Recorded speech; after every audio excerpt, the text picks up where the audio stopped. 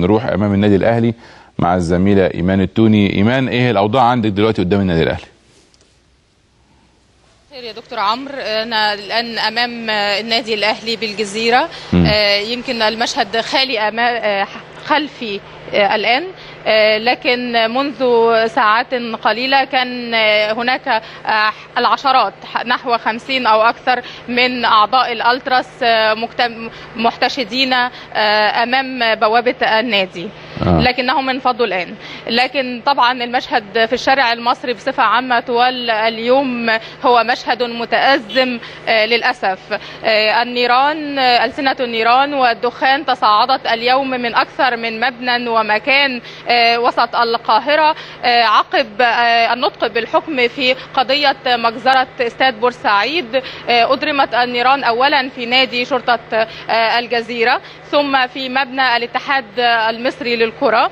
آه، ثم آه، آه، بعد ذلك ومنذ ساعات كانت النيران مشتعلة في مدرسة الدبارة بميدان سيمون بولي- بوليفار. وقبل قليل أضرمت النيران في أحد مطاعم في أحد المطاعم بميدان طلعت حرب وقام مجهولون بتحطيم عدد من السيارات في المكان نفسه. أيضا تم كسر ماسورة غاز بالقرب من فندق سمراميس أما آه، قصر النيل ومنطقة قصر النيل فشهدت آه، آه، الاشتباكات آه، مجددا بين الحين والآخر وكانت آه، النتيجة اليوم استشهاد اثنين. آه، للأسف أحدهما كان طفل استشهد بطلق بطلقات خرطوش آه، في الرأس. آه، أما الآخر فتوفي نتيجة اختناقه بالغاز. آه، دكتور عمرو أيضا أسوار الأسوار الخرسانية آه، التي تطوق منطقة آه، وسط القاهرة زادت اليوم بسور جديد في شارع منصور خلف مم. آه، أما على صعيد تحرك المسؤولين في الشارع فتفقد وزير الداخلية برفقة رئيس قطاع الأمن المركزي الحالة الأمنية آه، في الشارع. وأيضا آه، قام النائب العام لنيابات وسط القاهرة على رأس فريق بتفقد أماكن الحرائق والنيران التي اشتعلت آه، اليوم. هل في عندك أي أنباء يا إيمان عن قطع الط- الطريق فوق كوبري أكتوبر؟ آه أنا أنا أنا سمعت بالفعل إن آه، كوبري 6 أكتوبر مقطوع لكن طبعا أنا لست على الكوبري الآن يعني لكن وصلتني هذه الأنباء. طيب هل هناك يعني في أنباء بتقول إنه في تعليمات بإطفاء جميع لمبات الإنارة في منطقة وسط البلد بالكامل. هل لديك أي معلومات عن عن هذا القرار؟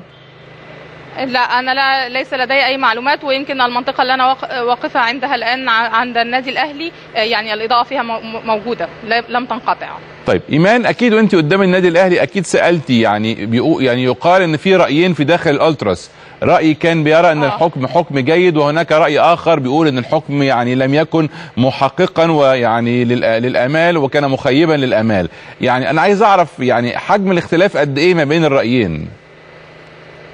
هو الحقيقة هناك آه، يعني حسب ما إحنا استطلعنا المشهد آه، من يرى أن هناك انقساما بين آه، ألتراس النادي الأهلي. آه، فهناك من آه، هو يعني يرى الحكم مرضيا وخاصة مع توقعات بالأمس كن- هناك كان خشية أو خوف من تأجيل النطق بالحكم أو عدم آه، الجه- المتورطين من الجهة الأمنية تحديدا من ضباط الشرطة.